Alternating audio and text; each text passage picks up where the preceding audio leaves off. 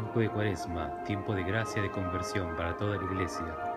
Unidos a Cristo, hoy nos recuerda cómo vencer el mal, las tentaciones, con la oración, el ayuno, el abandono total a la voluntad de Dios.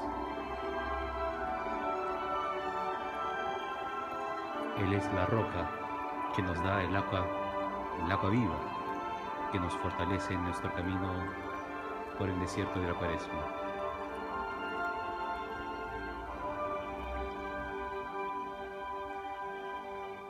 Dios les bendiga.